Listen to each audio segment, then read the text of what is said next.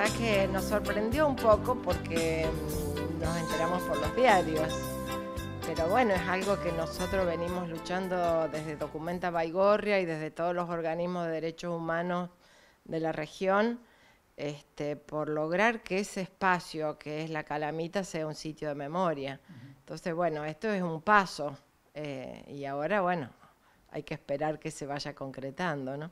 Decíamos, muchos años han pasado, muchos trámites, golpear puertas, tratar de dar eh, eh, un avance al proyecto de un lugar muy simbólico, muy representativo de la época más oscura, sobre todo en la, zona del cordón industrial, y que muchas veces fue invisibilizado o fue por esa historia oculta querido dejar al margen de los hechos.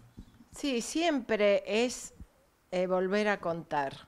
Mira, nosotros desde nuestra agrupación todo el tiempo estamos haciendo eh, pedagogía con esto, ¿no? En la medida que el lugar no es un sitio de memoria, nosotros llevamos esta historia por las escuelas, por los profesorados. Justamente el viernes tenemos una charla en el profesorado 22 de Fray Luis Beltrán.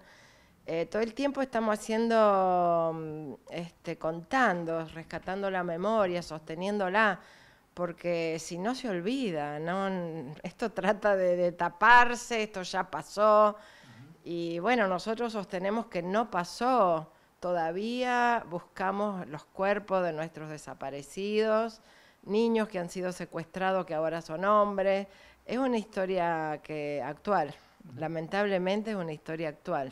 ¿Preocupa esto no por el hecho de enseñar día a día lo que pasó, sino porque haya que estar en esa rutina para que precisamente no caiga en el olvido? Sí, preocupa el negacionismo, la reivindicación de la dictadura. Este, la dictadura fue atroz, fue muy cruel.